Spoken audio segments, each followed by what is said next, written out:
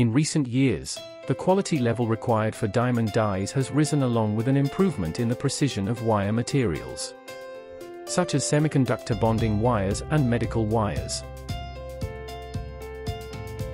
Requirements are increasing for wire characteristics, particularly wear resistance and properties to maintain roundness and wire surface roughness.